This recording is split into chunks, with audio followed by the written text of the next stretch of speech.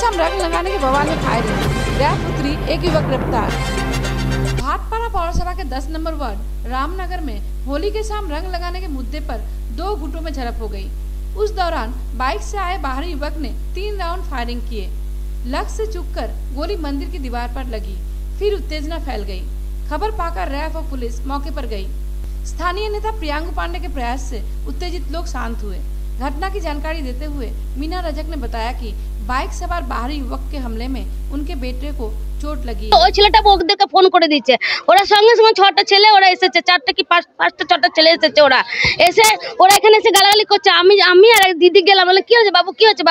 ওই सबको लेकर मारो सबको लेकर आइए मारेंगे सबको लेकर आइए पकड़ के मारेंगे हम लोग बाबू छोड़ दीजिए बाबू गलती होगा बच्चा लोग का छोड़िए ना बाबू छोड़िए ना फिर वो गली से निकला और लेडीज़ लोग और मर्दाना लोग उनको भी मारने लगा फिर एगो इधर से लड़का गया दौड़ के इनका बेटा उसको भी मारने लगा तो मेरा बेटा भी गया तो मेरा बेटा को भी मारा दो चार मारा। একটা মুখে মুখের মধ্যে চর চর করে মেরেছে আমার ছেলেকে।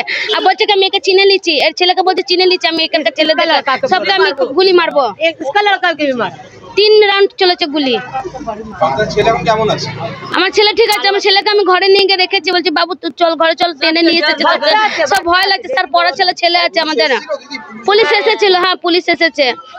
চেনা সম্ভব হয়েছে এখানকার লোক নাকি বাইরে এ, চিনতে তো কাউকে পারিনি না দেখলে চিনে নিতে পারবো মানে তো একটা ধরা পড়ে দুটো ধরা পড়েছে পুলিশ সঙ্গে সঙ্গে এসেছিল ধরা নিয়ে গেছে হ্যাঁ বাইকে করে সঙ্গে সঙ্গে ওরা সব বাইকে নিয়ে এসেছে কজন এসেছে?